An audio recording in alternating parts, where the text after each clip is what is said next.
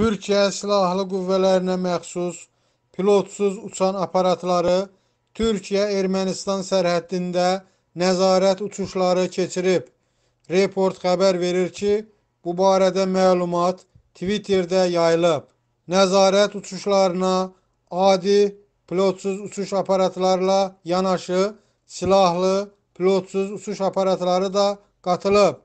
Qeyd edək ki, Ermənistanın Gümrü şəhərində yerləşən Rusiyaya məxsus 102 saylı hərbi bazasının helikopterləri 2 gündür Ermənistan Türkiyə sərhəddi boyu keşikçi uçuşları həyata keçirir.